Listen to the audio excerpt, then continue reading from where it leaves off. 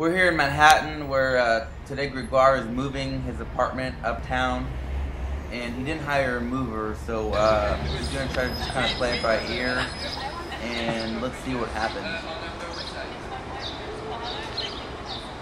Uh, okay. But otherwise it will be, but you're just dropping us on the perfect. I don't see the why everybody le uh, is laughing. Don't worry about that. I-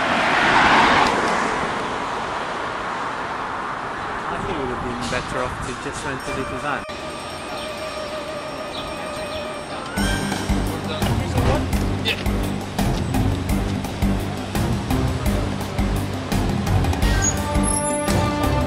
Take the glasses.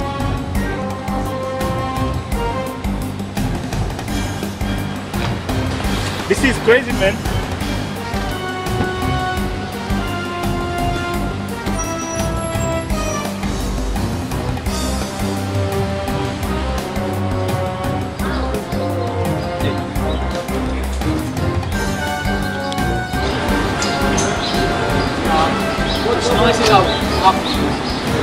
Good?